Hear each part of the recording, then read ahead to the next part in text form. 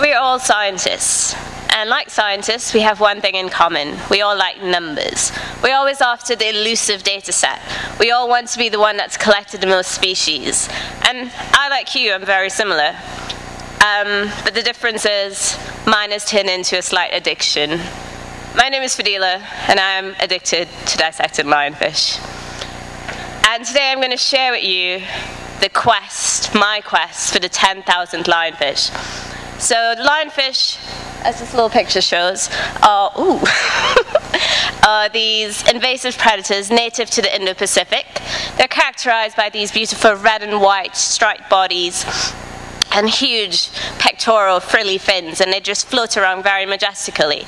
And it was this beauty that brought them over to the Caribbean as they were here for, um, as they were brought over via the aquarium trade but they are always almost the perfect invader. They pretty much eat any and everything. They live anywhere from less than one foot to more than a thousand feet of water. And when they reproduce, they can lay 10, 15,000 eggs. So if you thought bunnies were bad, think of them as bunnies on steroids. So, and the reason why I dissect lionfish is not that I enjoy basking in the ambience of dead stomach contents. It's because that's the way we can track their impacts.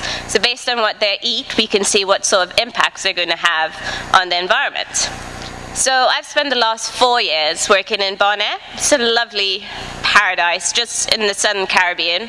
Crystal blue waters, very calm seas, and once you descend, there's the, the reef is just teeming with marine life.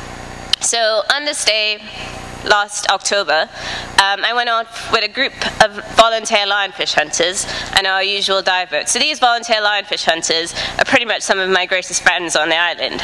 And they're all very excited to be part of this experience. So we're all there on the boat, everyone's in good spirits, eating cakes and cookies, which are the food of lionfish hunters and we're getting ready to go hunt lionfish. So I keep telling myself, today is the day we get to 10,000.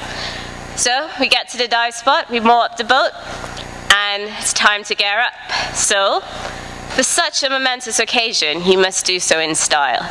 I traded in my nice practical 5 mil wetsuit, slip into my stylish bright pink skin, and trade in my nice um, BCD, and I have one of those old school, almost fluorescent pink BCDs. I sort of make my way carefully over to the edge, put on my obviously pink fins, and like the national bird of Bonaire, the pink flamingo, I take a giant stride off the boat, together with the captain, Menno.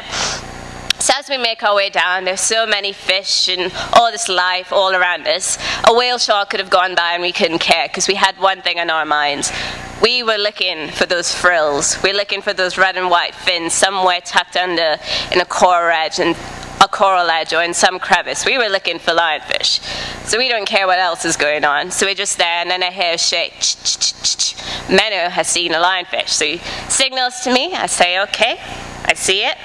I prepare my spare and I descend carefully and trying to seek which was the best spot to hit him. And then we made eye contact, and that's where everything went downhill.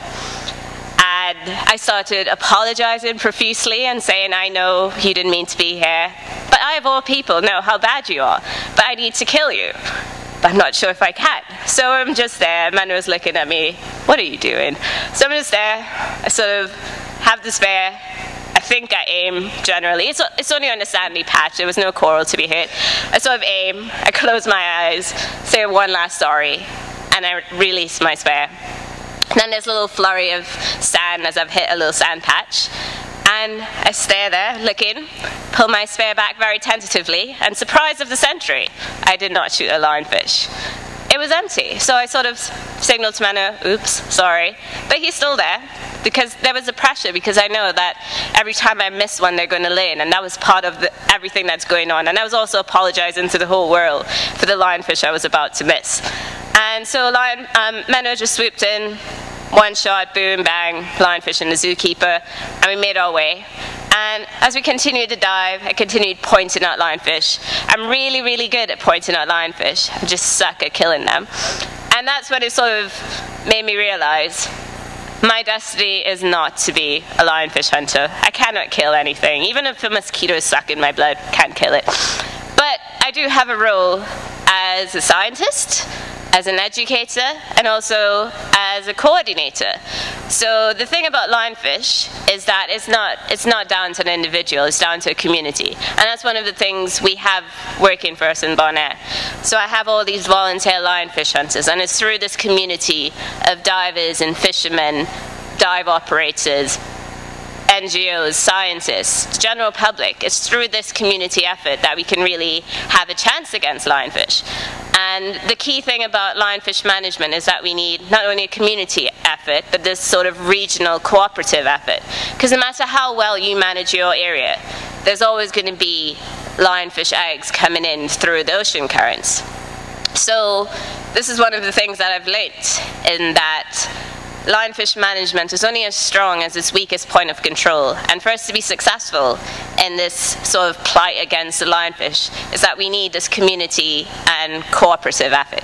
Thank you.